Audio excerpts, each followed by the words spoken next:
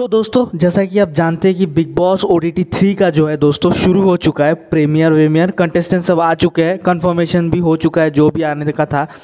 यहाँ पर दोस्तों अभी वाइल्ड कार्ड में आने के चांसेस है मैक्सटर्न और अंजलि अरोरा ये दोनों के। और यहाँ पर अब हम बात करते हैं घर में जो एजेंट है दोस्तों एजेंट बनाया गया है दोस्तों यहाँ पर घर में। तो सना सुल्तान जो है, उनको एजेंट बनाया गया है। हम सबको पता है, मालूम है। लेकिन दोस्तों, यहाँ पर सना सुल्तान को पकड़ना इजी नहीं होगा दोस्तों, क्योंकि सना सुल्तान जो है, बहुत स्मार्ट लड़की है दोस्तों वो। बहुत स्मार्ट लड़की है। आप, उसका नाम कोई ले ही नहीं रहा है दोस्तों। एजेंट में से कौन होगा? जब सबको पूछा जा रहा है, कौन एजेंट है, कौन एजेंट है तो उसका नाम कोई नहीं ले रहा है। सब मतलब नेज़ी का नाम ले रहा है। लेकिन दोस्तों नेज़ी ऐसा नहीं है दोस्तों। नेज़ी है साइलेंट ऑब्जर्वर यहाँ पर दोस्तों बहुत लोग साइलेंट ऑब्जर्वर है। जैसे विशाल पांडे नेज़ी और और भी लोग हैं जो अभी साइलेंटली ऑब्ज़र्व कर रहे हैं। जैसे कि ये दोनों का नाम मैंने लिया है और नेज़ी जो भैया है हमारे फिनाले तक जाने वाले ही है। नेज़ी कटारिया साई केतन ये लोग एंडिंग तक जाने वाले मुझे लग रहे हैं। और आउट जो जल्दी होने वाले हैं, निकलने वाले हैं, मुझे लग रहा है ये मुनीषा जो खतवानी है ये और ये दीपक चौरासिया। दीपक चौरासिया बहुत ही इंटरेस्टिंग कैरेक्टर है दोस्तों, लेकिन उनको ज़्यादा मैं फुटेज में नहीं देख रहा हूँ कैमरा में। ज़्यादातर हम अरमान मलिक को, ये एक इंटरेस्टिंग कैरेक्टर होगा दोस्तों, ये जो कैरेक्टर है, ये अभी खुल के नहीं आ रहा है किसी के सामने। ये तो अपने दो बीबी के साथ आया है खेलने, ठीक है, मैं मानता हूँ। ये उनका पर्सनल चॉइस है, दो बीबी रखे, चार बीबी रखे छः बीबी रखे, दस बीबी रखे, ये उनका पर्सनल मैटर है, उनका पैसा है है ना? तो पैसा अगर हो तो अपना, आपके पास तो बीवी रखिए जितना मर्ज़ी। मेरे पास नहीं है तो मैं शादी नहीं करूँगा। तो अरमान मलिक का गेम जो है, अभी भी वो साइलेंटली खेल रहा है, अभी तक नहीं आ रहा है। अभी तो एक हफ़्ता भी नहीं हुआ दोस्तों। अभी इन लोगों को फ़ोन दिया गया है, और फ़ोन में सिर्फ़ अभी ये लोग मैसेजेस देख सकते हैं रिप्लाई नहीं देख सकते। मतलब सिर्फ़ रीड कर सकते रिप्लाई नहीं कर सकते और ये लोग सिर्फ़ आपस में घर वाले ही बात करेंगे फ़ोन पे। कंटेस्टेंट्स ही आपस में बात करेंगे। और सना सुल्तान है, जो सिर्फ़ बिग बॉस के साथ बात करेंगे और बाहर की इन्फॉर्मेशन लेंगे। अगर सना सुल्तान को किसी ने पकड़ लिया दोस्तों तो अगला एजेंट वही होगा स्पाई और सना सुल्तान को पकड़ने के लिए दोस्तों सबको बहुत शातिर होना पड़ेगा। अभी दोस्तों लाइव फिट चल रहा है। यहाँ पर मैं देख रहा हूँ सना मकबूल और अरमान मलिक बात कर रहे हैं। अरमान मलिक बहुत ही गेम को अलग तरीके से खेलने वाले दोस्तों। बिग बॉस सत्रह से अच्छे कंटेस्टेंट लाए इस बार, जो कंटेस्टेंट से अच्छे मज़ा आएगा दोस्तों देखना। सना मकबूल जो है, अभी पता चला उनके होठ पे कुत्ते ने काट लिया था। तो दोस्तों, ज़रा आप लोग जो लड़की आए हो, कुत्ते से, कुत्ते के साथ ज़्यादा किस बीस मत करिए, नहीं तो आपके होठ पे कुत्ते काट लेंगे।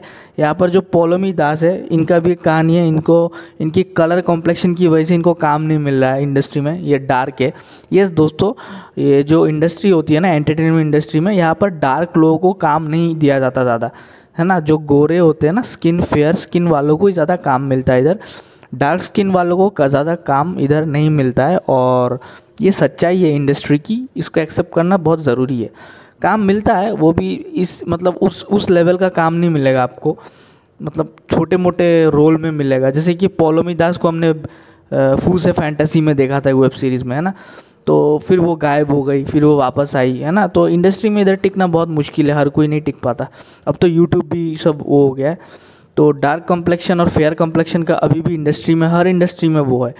ये हॉलीवुड तो नहीं है ना कि कि आप ब्लैक्स लोगों को, ये चलता रहेगा दोस्तों, ये चीज़ जो है ब्लैक और डार्क फेयर कम्प्लेक्शन और डार्क कम्प्लेक्शन का ये चलता रहता है, दुनिया का रूल है।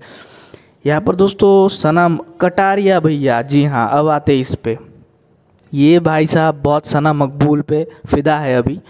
सना मकबूल को बहुत वो कर रही है लाइन मार रहे हैं, लेकिन सना मकबूल बोल रहे कि ज़्यादा भाव नहीं दे रहे वो सना मकबूल। लेकिन कटारिया जो है, मुझे ऐसा लग रहा है, वो फिनाले तक जाने वाला है।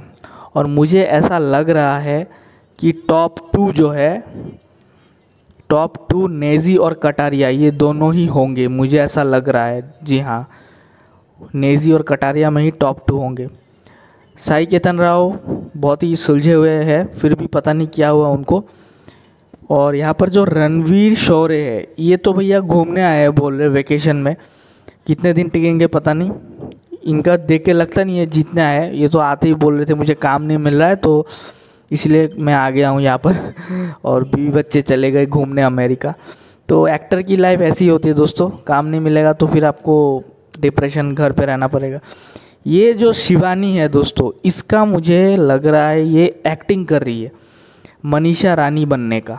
जी हाँ क्योंकि इसके व्लॉग्स मैंने देखे, ये इस तरीके से बात नहीं कर रही है, जैसे वो कर रही है अभी घर में दैया दैया बोल के। इस तरीके का नहीं है, ठीक है, मिट्टी उट्टी लाना एक है गाँव गाँव का मिट्टी लाना, ठीक है, ये लेकिन, कटारिया जो है, वो खुल के खेल रहा है, मुझे अच्छा लग रहा है कटारिया का एक चीज़, वो खुल के खेल रहा है, एलविस जैसा।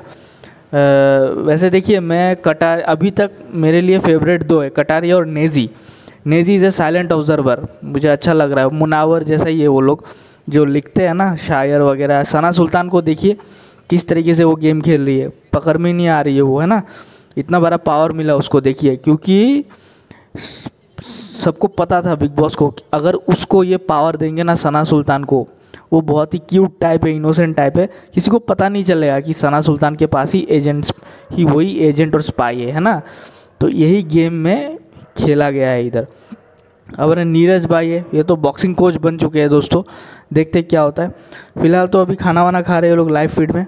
और किसका बच्चा है, किसके बारे में बोले अब? चंद्रिका। हाँ ये जो है दोस्तों, चंद्रिका, ये आगे तक जाने वाली है दोस्तों फिनाले तक, मुझे ऐसा लग रहा है।